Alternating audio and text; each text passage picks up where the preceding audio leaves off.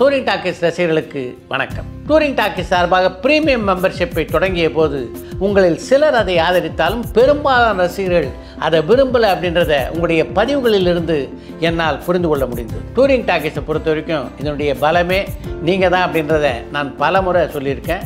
அதனால் உங்களுடைய விருப்பத்துக்கு மாறாக அந்த ப்ரீமியம் மெம்பர்ஷிப்பை தொடர்றதில் எனக்கு விருப்பம் இல்லை. இன்று முதல் ப்ரீமியம் மெம்பர்ஷிப் என்பது ரத்து செய்யப்படுகிறது. அதனால் டூரிங் டாக்கீஸில் சாய் சித்ரா மாரத்தான் உட்பட எல்லா நிகழ்ச்சிகளையும் நீங்கள் வழக்கம் போல கண்டுகளிக்கலாம். ஏற்கனவே டூரிங் டாக்கிஸ் பிரீமியம் மெம்பர்ஷிப்புக்காக பணம் செலுத்தியிருக்கின்ற ஒரு சில ரசிகர்களுக்கு நான் எழுதியுள்ள எண்பது ஆண்டு கால தமிழ் சினிமா என்ற நூலையும் என்னவென்று சொல்வேன் என்ற நூலையும் அனுப்பி வைக்கிறதாக டூரிங் டாக்கீஸ் நிர்வாகம் முடிவெடுத்திருக்கிறது. பிரீமியம் மெம்பர்ஷிப் செலுத்தியுள்ள நண்பர்கள் உங்களுடைய விலாசத்தை மின்னஞ்சல் மூலமோ அல்லது வாட்ஸ்அப் மூலமோ உங்களுக்கு தெரிவித்தால் புத்தகங்கள் உடனடியாக உங்களுக்கு அனுப்பி வைக்கப்படும். நன்றி வணக்கம்.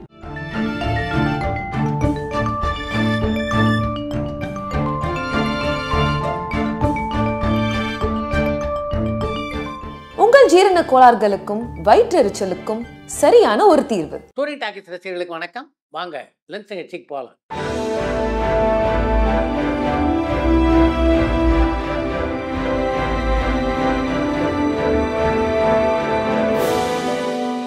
என்னம்மா முதல் கேள்வி? ஆயிரத்தி தொள்ளாயிரத்தி அறுபது எழுபது காலகட்டத்துல ஹிந்தில நிறைய கலர் பிலிம்ஸ் வந்துச்சு. ஆனா தமிழ்ல பெருசா கலர் பிலிம்ஸே அந்த டைம்ல வரல. இதுக்கு காரணம் என்னன்னு தெரியுமான்னு திருச்சியில இருந்து பாலு கேட்டிருக்காங்க.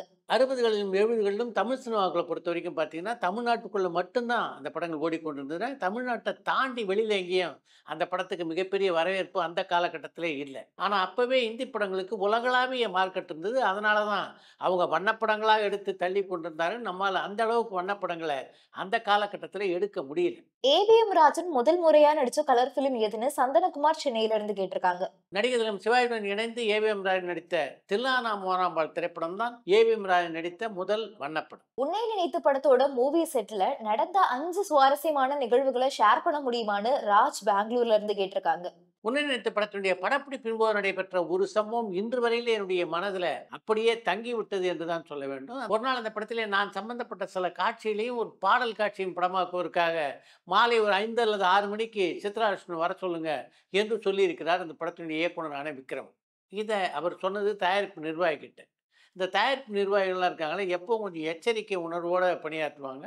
அவர் தன்னுடைய உதவியாளர்கிட்ட சொல்லும்போது சித்ராகிருஷ்ணன் சாரை ஒரு நாலு மணிக்கு வந்து சொல்லுப்பா அப்படின்னார். இப்போ அந்த ப்ரொடக்ஷன் மேனேஜர் அவருடைய உதவியாளர்கிட்ட சொல்லும்போது சித்ரா சாரை ஒரு ரெண்டு மணிக்கு வந்து சொல்லுங்கள் முடிஞ்சால் லஞ்சுக்கே இங்கே வந்துட்டாருன்னா பரவாயில்ல அப்படின்னாங்க. இந்த செய்தி எனக்கு வந்து சேரும்போது ஒரு வழியாக காலையில் பதினோரு மணிக்கே வந்தால் நல்லது என்று வந்து சேர்ந்தது. அதனால் நான் காலையில் பதினோரு மணிக்கெல்லாம் படப்பிடிப்புக்கு போயிட்டேன். நான் விக்கெல்லாம் வச்சுட்டு தயாராக இருந்தபோது அந்த பக்கம் விக்ரம் வந்தார் உங்களுக்கு மாலையில் தானே படப்பிடிப்பு அதுக்குள்ளே எதுக்கு இந்த பிக்கெல்லாம் வச்சுக்கிறீங்க? என்று கேட்டார். அவர் அப்படி சொன்ன உடனே நான் அந்த தயாரிப்பு நிர்வாகியை பார்த்தேன்.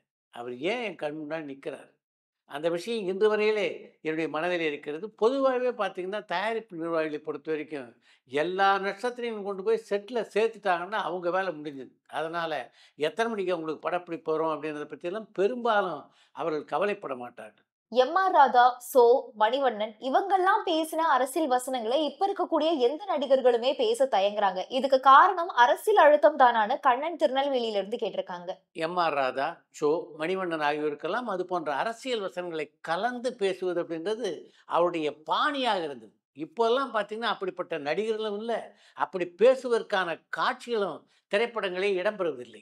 சுந்தர் சி வடிவேலு இணைந்து நடிக்கக்கூடிய அந்த படத்தோட ஷூட்டிங் முடிஞ்சிருச்சா? அவங்களோட ஸ்டில்ஸ் பார்த்தே ரொம்ப அழகா இருந்துச்சு. இவங்களோட அந்த படத்துல உள்ள கேஸ்ட் அண்ட் க்ரூஸ் டீடைல்ஸ் பத்தி சொல்ல முடியுமான்னு மணிகண்டன் கேட்டிருக்காங்க. சுந்தர் சியும் வடிவேலும் இணைந்து நடிக்கின்ற படத்துடைய பெயர் கேங்கஸ் அந்த படத்தில் கதாநாயகன் நடிக்கின்ற சுந்தர் சிக்கு ரெண்டு ஜோடிகள் கேத்தரின் தெரசாவும் வாணி போஜனம் அவருக்கு ஜோடியாக நடிக்கிறாங்க முனிஷ்காந்த் மைன் கோபி அருள்தாஸ் போன்றவரும் நடிக்கிற அந்த படத்தினுடைய முதல் கட்ட படப்பிடிப்பு பார்த்தீங்கன்னா தென்காசியில் இருபத்தைந்து முப்பது நாட்கள் நடைபெற்றது. அடுத்து இப்போ பொள்ளாச்சியில் இந்த படத்தினுடைய படப்பிடிப்பு நடைபெற்று கொண்டிருக்கிறது.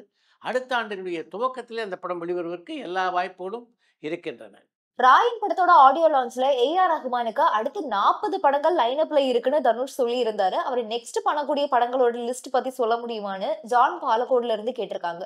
நீங்கள் குறிப்பிட்டிருக்க மாதிரி தனுஷ் அப்படி சொன்னாரா அப்படின்னு எனக்கு தெரியல. தனுஷ் அப்படி சொல்லியிருந்தா அது ஒரு தவறான தகவல் அப்படின்னு தான் நான் நினைக்கிறேன். எனக்கு தெரிஞ்சு ஏ ஆர் ரஹ்மான்ட்ட இப்போ நாற்பது திரைப்படங்கள்லாம் கைவசம் இல்லை. அந்த லிஸ்ட் உங்களுக்கு தெரியணும்னா நீங்கள் தனுஷை தான் கேட்கணும். ஒரு காலத்துல நீங்க வெற்றி இயக்குனரா இருந்தீங்க. இப்போ மற்ற இயக்குனர்களுடைய படத்துல நடிக்கிறீங்க. அப்போ நீங்க இயக்குனர்களுக்கு ஏதாவது ஆலோசனை கொடுப்பீங்களான்னு அன்னம்பீடுல இருந்து குப்புராஜ் கேட்டிருக்காங்க. நீங்கள் கேட்டிருக்கின்ற இதே விஷயத்தை நம்முடைய சாய் சித்ரா நிகழ்ச்சியிலே கலந்து கொண்ட நடிகர் கம் டைரக்டர் பல பேர்கிட்ட நான் கேட்டிருக்கேன். மற்றவருடைய படப்பிடிப்பிலே ஒரு நடிகராக செல்லும்போது டைரக்டர் அப்படின்ற அங்கே இருக்குல்ல அதை அப்படியே செட்டுக்கு வெளியில் கைட்டு வைத்து விட்டு தான் போவோம் என்று தான் பல இயக்குனர்கள் சொல்லியிருக்கிறார்கள். சார் உங்களை பத்தியும் உங்களோட குடும்பத்தை பத்தியும் சொல்ல முடியுமான்னு கல்யாணி சென்னையில இருந்து கேட்டிருக்காங்க. எனக்கு ஒரே ஒரு மனைவி இரண்டு பெண்கள். நடிகர் ஜெய்சங்கர் நடிச்ச படங்கள்ல அவருக்கு அதிக வெற்றியை கொடுத்தது ஜேம்ஸ் பாண்ட் படங்களா இல்ல குடும்ப படங்களான பாலசுப்ரமணியம் கடலாடியில இருந்து கேட்டிருக்காங்க. ஜெய்சங்கர் எந்த காலகட்டத்திலயுமே ஒரே மாதிரியான படங்களை பண்ணதில்ல. ஒரு பக்கம் குடும்ப பாங்கான படங்களை நடிச்சிட்டு இருப்பார். இன்னொரு பக்கம் பார்த்தீங்கன்னா கையில் கொண்டு ஜேம்ஸ் பாண்ட் பாணி படங்களை நடித்து கொண்டிருப்பார். அவருடைய ஜேம்ஸ் பாண்ட் பாணி படங்களும் வெற்றி படங்களாக அமைந்தன. அதே மாதிரி அவர் நடித்த குடும்ப படங்களும் வெற்றி படங்களாகவே அமைந்தன. வேட்டையின் படத்துடைய சென்சார் முடிஞ்சிருச்சு. உங்களுடைய நண்பர்கள் இல்ல பிரபலங்கள் யாராவது இந்த படத்தை பார்த்துட்டு இந்த படம் எப்படி இருக்குன்னு உங்ககிட்ட ஏதாவது சொன்னாங்களான்னு தேவிப்பட்டினத்துல இருந்து பாண்டியராஜ் கேட்டிருக்காங்க. பெரும் முதலீட்டிலே தயாரிக்கப்படுகின்ற ரஜினி படங்கள் கமல் படங்கள் அஜித் படங்கள் விஜய் படங்கள்லாம் அவ்வளவு எளிதில் யாருக்கும் போட்டு காட்ட மாட்டாங்க. அதனால் வேட்டையின் திரைப்படம் எப்படி இருக்குது அப்படின்றத பற்றி யாராவது உங்ககிட்ட இப்போ சொன்னாங்கன்னா அது தவறான தகவல் தானே தவிர உண்மையான தகவல் அல்ல. நம்ம நாட்டுல இருக்கக்கூடிய கான்ஸ்டிடியூஷன் எல்லா கொள்கைக்கும் சேர்த்து இருக்கக்கூடிய ஒரே கான்ஸ்டிடியூஷனா மக்களுக்கு ஏற்றவாறு தான் இருக்கு. அப்புறம் ஏன் விஜய் கிட்ட எல்லாரும் உங்களோட கொள்கை என்னன்னு கேக்குறாங்கன்னு பெருந்தமிழன் பாண்டிச்சேரியில இருந்து கேட்டிருக்காங்க. மக்களுக்கு நலம் பயக்கின்ற திட்டங்களை நிறைவேற்றணும் அப்படின்ற நோக்கத்தோடு தான் எல்லா அரசியல் கட்சிகளுமே இயங்கிக் கொண்டிருக்கின்றன. புதிதாக அரசியலுக்கு வர இருக்கின்ற விஜய் மக்களுக்கு நலம் வைக்கின்ற திட்டங்களை எல்லாம் நிறைவேற்றுவதற்கு அவர் கையில் என்ன மாதிரியான ஒரு வியூகத்தை வைத்திருக்கிறார் என்பதுதான் மக்கள் கேட்கிறார் கிரிமினாலஜி பேஸ் பண்ணி ஒரு நல்ல படம் மலையாளத்துல வந்த மாதிரி எனக்கு தெரியல. அப்படி கிரிமினாலஜி பேஸ் பண்ணி ஒரு நல்ல த்ரில்லர் கதை வந்தா நல்லா இருக்கும்னு எனக்கு தோணுது. இதை பத்தி உங்களுடைய கருத்து என்னன்னு ஜெயராஜ் கேரளால இருந்து கேட்டிருக்காங்க. நீங்கள் சொல்லியிருப்பது ஒரு நல்ல யோசனை. பல இளம் இயக்குனர்களும் நம்முடைய லென்ஸ் நிகழ்ச்சியை பார்த்து கொண்டு தான் இருக்காங்க. அவங்கள யாருக்காவது உங்களுடைய இந்த யோசனை பயன்படுவதற்கு கூட வாய்ப்பு இருக்குது மெய்யழகன் படத்துக்கு விமர்சனங்கள் நல்லாவே இருந்தாலும் மக்களுக்கு பெருசா அந்த படம் கனெக்ட் ஆகல. அதுக்கு காரணம் கமர்ஷியல் எலிமெண்ட்ஸ் எதுவுமே பெருசா இல்ல. ஒரு கிளாமரான பாட்டோ அடிதடியோ எதுவுமே அந்த படத்துல இல்ல. மக்களுடைய டேஸ்ட் கிளாமர் சாங் அடிதடிலாம் இருந்தாதான் நல்ல படம் அப்படின்னு நினைக்கிற அளவுக்கு மாறின மாதிரி எனக்கு தெரியுது. இத பத்தி உங்களுடைய கருத்து என்னன்னு செல்வம் ராஜா தலையாம்பள்ளத்துல இருந்து கேட்டிருக்காங்க.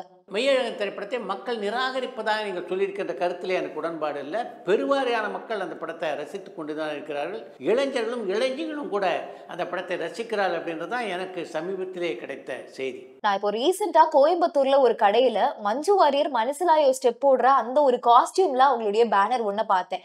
இந்த அளவுக்கு அவங்களுக்கு பாப்புலாரிட்டி கிடைச்சது இந்த மனசிலாயோ பாடல் மூலமா தானா நீங்க வேட்டையின் படத்தை எந்த தியேட்டர்ல போய் பார்க்க போறீங்கன்னு அஜய் கோயம்புத்தூர்ல இருந்து கேட்டிருக்காங்க. மஞ்சு தமிழ் சினிமா அரசியல் மத்தியிலே செல்வாக்கு கூடுகிறது என்றால் அதுக்கு முக்கியமான காரணம் மனசிலாயோ என்ற பாடல் இல்லை. அந்த பாடலில் யாரோடு இணைந்து அவர் ஆடி இருக்கிறார் என்பதுதான் ரொம்ப முக்கியமான விஷயம். சூப்பர் ஸ்டார் ரஜினிகாந்தோடு இணைந்து அந்த பாடல் காட்சியிலே அவர் நடித்திருப்பதால் தான் அந்த அளவுக்கு அவருக்கு இங்கே பாப்புலாரிட்டி கூடிக்கொண்டிருக்கிறது. எல்லா திறமைகள் இருந்தும் பிரசாந்த் எந்த நேரத்துல எந்த மாதிரியான இடத்துல தனக்கான வாய்ப்புகள் எல்லாத்தையும் தவற விட்டாருன்னு சாத்தூர்ல இருந்து ரவிக்குமார் கேட்டிருக்காங்க. திரையுலகத்தை பொறுத்த வரைக்கும் நீங்கள் எவ்வளவுதான் திறமைசாலியாக இருந்தாலும் திட்டமிடல் அப்படின்றது ரொம்ப முக்கியம். திரைப்படங்களை பற்றி சொல்லும்போதே நம்ம என்ன சொல்கிறோம் எவ்வளோ நல்ல படமாக இருந்தாலும் வெளியீட்டு தேதி சரியாக அமையணும்னு சொல்கிறோம் இல்லையா?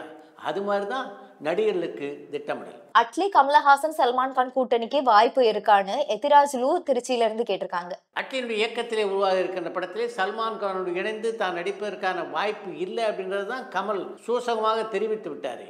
அங்கமுத்து சி. கே. சரஸ்வதி. இவங்க ரெண்டு பேர்ல யார் அதிகமான நெகட்டிவ் ரோல்ஸ் பண்ணிருக்காங்க? ரெண்டு பேரும் ஏதாவது பாசிட்டிவ் ரோல்ஸ்ல நடிச்சிருக்காங்களான்னு வேல் சென்னையில இருந்து கேட்டிருக்காங்க. நீங்கள் குறிப்பிட்டிருக்கின்ற சி. கே. சரஸ்வதி அங்கமுத்து ஆகிய இருவரில் அங்கமுத்து நெகட்டிவ் ரோல் பண்ணதா சொல்ல முடியாது. அங்கமுத்து பெரும்பாலும் பாசிட்டிவ் ரோல் தான் பண்ணாங்க. சில படங்களில் நகைச்சுவை வேடங்களே நடிச்சிருக்காங்க. சி. கே. சரஸ்வதி தான் ஏராளமான படங்களில் வில்லி வேடங்களில் நடித்தவங்க சி. கே. சரஸ்வதியை பொறுத்த வரைக்கும் வில்லி வேடத்துக்கு ஒரு அத்தாரிட்டி அப்படின்னு தான் அவங்கள நான் சொல்வேன்.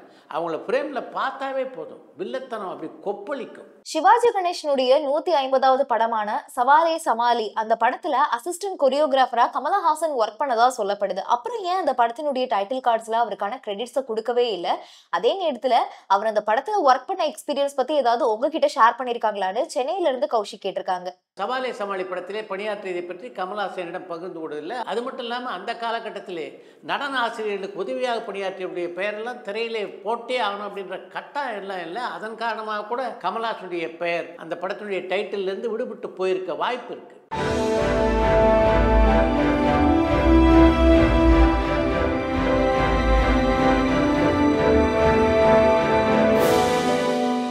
பட ரொம்ப பெருசா இருக்கு லேக் அடிக்கிற மாதிரி இருக்கு அப்படிங்கறதுனால தயாரிப்பாளர்கள் கிட்ட எந்த அனுமதியும் பெறாம தியேட்டர் ஓனர்ஸ்னால அந்த படத்தினுடைய ஒரு பகுதியை கட் பண்றதுக்கு உரிமை இருக்கான்னு முரளி அனுகிரகா மதுரையில இருந்து கேட்டிருக்காங்க. இப்போ திரைப்படங்கள் டிஜிட்டல் முறையில் வெளியாவதால் திரையரங்கு உரிமையாளர்கள் தங்களுடைய இஷ்டப்படி படத்தினுடைய காட்சிகளை வெட்ட முடியாது. ஆனால் பிலிமிலே திரைப்படங்கள் தயாரான போது படத்தினுடைய நீளத்தை குறைக்கின்ற உரிமையை தேட்டர் உரிமையாளர்கள் மட்டும் இல்லை அந்த ஆப்ரேட்டர்லேயே கூட எடுத்துக்கொண்ட சம்பவம் உண்டு. அதுக்கு உதாரணமாக ஒரு சம்பவத்தை உங்களோடு நான் பகிர்ந்து கொள்ள வேண்டும் என்று விரும்புகிறேன். நாடோடி திரைப்படம் பாரதியாருடைய இயக்கத்திலே கார்த்திக் நடித்த திரைப்படம் என்பது உங்கள் எல்லாருக்கும் நல்லா தெரியும். அந்த படத்தில் சில காட்சிகளை மக்கள் அவ்வளவா ரசிக்கல அப்படின்றதுனால அதை வெட்டிடலாம் அப்படின்னு முடிவு பண்ணார் இயக்குனர். அதை வெட்டுவதற்காக நாங்கள் ஒரு படையாக எல்லா ஊர்களுக்கும் கிளம்பினோம். முதல்ல நாங்கள் பாண்டிச்சேரிக்கு சென்றபோது என்ன சார் என்ன விஷயம்? என்று கேட்டார்? அந்த ஆப்ரேட்டர் இல்லை சில காட்சிகள் எல்லாம் அந்த படத்தில் வெட்டலான் இருக்கும் அப்படின்னு நாங்கள் சொன்னோம். உடனே பக்கத்தில் சுருள் சுருளாக வைக்கப்பட்டிருந்த ஃபிலிமெல்லாம் எங்ககிட்ட எடுத்து கொடுத்தாரு நான் நேற்றே வெட்டிட்டேன் சார் இந்தாங்க இதை எடுத்துகிட்டு போங்க.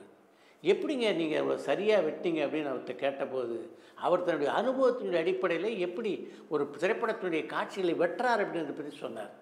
படம் ஓடிக்கிட்டு இருக்கும்போது எந்த காட்சியில் மக்கள் மத்தியிலே படத்துக்கு எதிர்ப்பு வருது மக்கள் ரசிக்கலைன்றதை நாங்கள் பார்த்துக்கிட்டே இருப்போம். அந்த இடத்துல அட்டையை சொல்லிவிடுவோம். படம் முடிஞ்ச பிறகு எங்கெங்கெல்லாம் அட்டை சொல்லி இருக்குமோ அந்த இடத்தெல்லாம் பார்த்து ட்ரிம் பண்ணுவோம் என்றார் அந்த ஆப்ரேட்டர். இப்படி பல திரையரங்களில் காட்சிகள் அந்த காலத்தை வெட்டியிருக்காங்க. இப்போ டிஜிட்டல் முறையில் அவங்களால இப்படி வெட்டுவதற்கான வாய்ப்புகள் இல்லை. அது மட்டும் இல்லாமல் இப்போ தணிக்கை அதிகாரிகள் பார்த்திங்கன்னா ரொம்பவே ஸ்ட்ரிக்டாக இருக்காங்க.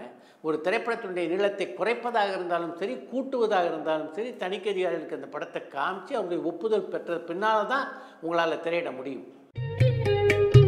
அடுத்து என்று ஒரு தகவல். எம்ஜிஆருடைய பல படங்களில் வில்லனா நடித்த அசோகனுக்காக எம்ஜிஆர் நடித்து கொடுத்த திரைப்படம் தான் நேற்று இன்று நாளை என்ற திரைப்படம். அந்த படத்துக்கு இசையமைத்தவர் மெல்லிசை மன்னர் எம் எஸ் விஸ்வநாத் அந்த படத்துக்காக பல அருமையான டியூன்களை தினந்தோறும் உருவாக்குவார் எம் எஸ் விஸ்வநாத் அதையெல்லாம் அசோகன்ட்டு கொடுப்பார். அசோகன் அந்த பாடல் எல்லாம் எடுத்து கொண்டு போய் எம்ஜிஆர்கிட்ட போட்டு காட்டுவார். திரும்பும்போது எம்ஜிஆர் ஒரு பாட்டு கூட நல்லா இல்லைன்னு சொல்லிட்டார் என்று எம் எஸ் விஸ்வநாதம் சொல்வார். இது நடந்து முடிஞ்சோடனே திரும்பவும் பார்த்தீங்கன்னா அடுத்த பத்து நாளில் திரும்பவும் ஒரு நாற்பது ஐம்பது பாடல்களுக்கு புதிதாக இசையமைப்பார் மலேசிய மன்னர் எம் எஸ் விஸ்வநாதன். அந்த கேசட்டெல்லாம் அசோகன்ட்டு கொடுப்பார். அசோகன் மீண்டும் அந்த பாடல் எல்லாம் எடுத்துக்கொண்டு போய் எம்ஜிஆரிடம் போட்டு காட்டுவார். எம்ஜிஆர் ஒன்றும் நல்லா இல்லையே என்று சொல்வார் அவர் அப்படி சொன்ன உடனே சுவத்தில் எறியப்பட்ட பந்து போல மீண்டும் எம் எஸ் வருவார் அசோகன். நீங்கள் இப்போ போட்ட பாட்டு எதுவும் கூட சரியில்லைன்னு சொல்லிட்டார் அவர் என்பார். எம்ஜிஆர் அப்படி சொன்ன உடனே அசோகனுடைய முகம் அப்படியே வாடிவிடும். எப்படி இதை கொண்டு போய் எம்எஸ் விஸ்வநாட்ட சொல்கிறது அப்படின்னு முதல்ல அவர் தயங்குவார். ஆனாலும் வேறு வழி இல்லை இல்லையா? அதனால் எம்எஸ் விஸ்வநாட்டை வந்து நீங்கள் இப்போ போட்டு கொடுத்தீங்களே அந்த பாட்டெலாம் கூட சரியில்லைன்னு சின்னவர் சொல்லிட்டாரு என்று சொல்வார். இப்படியே காலங்கள் கடந்து கொண்டிருந்தன. நாலஞ்சு மாதம் ஆச்சு. எந்த பாட்டும் ஓகே ஆகலை. திரும்பவும் ஒரு இருபது பாட்டு டியூன் போட்டு வாங்க என்று அசோகனிடம் சொல்லி அனுப்பினார் எம்ஜிஆர். இப்போ அசோகன் எம்எஸ் கிருஷ்ணாட்ட வந்து நீங்கள் புதுசாக ஒரு இருபது முப்பது டியூன் போட்டு கொடுத்தீங்கன்னா நல்லாயிருக்கும். நான் போய் சின்னவர்கிட்ட காட்டு வந்துடுறேன் என்று சொல்ல இனிமே உங்கள் படத்துக்கு நான் டியூன் போடுறதா இல்லை என்றார் எம்எஸ் விஸ்வநாத் இது மாதிரி மோதல்கள் பார்த்தீங்கன்னா மெல்லிசை மன்னர் எம்எஸ் விஸ்வநாதனுக்கும் புரட்சி தலைவர் எம்ஜிஆருக்கும் இடையே பல முறை நடந்திருக்கின்றன. இனி எம்ஜிஆருடைய இந்த படத்துக்கு நான் டியூன் போட மாட்டேன் அப்படின்னு எம்எஸ் விஸ்வநாதன் சொன்ன விஷயம் எம்ஜிஆருடைய காதுக்கு போன மறுகணம் எம்எஸ் விஸ்வநாதனை சந்திப்பதற்காக வந்தார் எம்ஜிஆர்.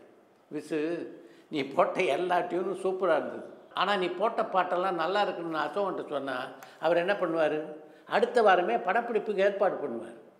அவர்கிட்ட கொடுக்கறதுக்கு எனக்கு காட்சிட்டு இருந்தால் தானே நான் படப்பிடிப்பில் கலந்து கொள்ள முடியும். படப்பிடிப்பு தேதியை தடுறதுக்காக தான் டியூன் நல்லா இல்லைன்னு சொன்னேனே தவிர நீ போட்ட எல்லா டியூனுமே சூப்பராக இருந்தது.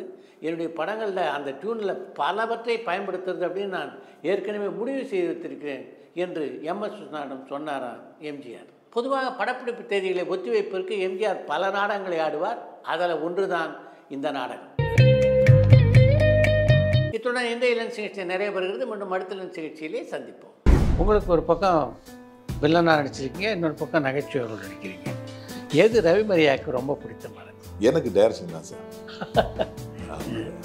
வில்லனுக்கு அது அதுக்கப்புறம் ஃபஸ்ட்டு டைரக்ஷன் தான். பல நகைச்சுவை நடிகர்கள் பார்த்தீங்கன்னா ஒரு பக்கம் விவேக் வடிவேல் எல்லாரும் ஒரு சீன்னா அவங்க ஒர்க் அது நிறைய இருக்கும். அது மாதிரி நீ உங்கள்கிட்டையும் சீன் கொடுக்கும்போது அதில் நீங்கள் இம்ப்ரூவ்மெண்ட்லாம் பண்ணுவீங்களா? நூறு பர்சன்ட் பண்ணுவேன் சார். அப்படி பண்ணுற படங்கள் தான் நான் போவேன் சார். ஒரு வில்லன் நீங்கள் அப்படின்னா டேரக்டர் சொல்வது அப்படியே கேட்டுருவேன். இது காமெடி பண்ணணும் சார்னா பரபரப்பான சினிமா செய்திகள் நட்சத்திரங்களின் பேட்டிகள் சினிமா வரலாறு ஆகியவற்றை பார்க்கவும் படிக்கவும் உங்களுக்கான இணையதளம் tour and talkies dot co